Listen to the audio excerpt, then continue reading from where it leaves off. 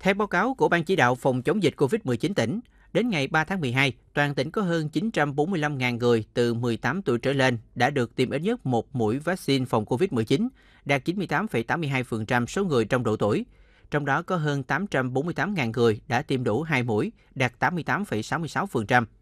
Bên cạnh đó, đến nay, trên địa bàn tỉnh có hơn 107.000 trên tổng số hơn 118.000 trẻ từ 12 đến 17 tuổi đã tiêm ít nhất một mũi vaccine phòng COVID-19, đạt 90,32%. Các địa phương vẫn đang tiêm giác mũi cho đối tượng từ 18 tuổi và tiêm chủng mũi 1 cho trẻ từ 12 đến 17 tuổi ngoài cộng đồng.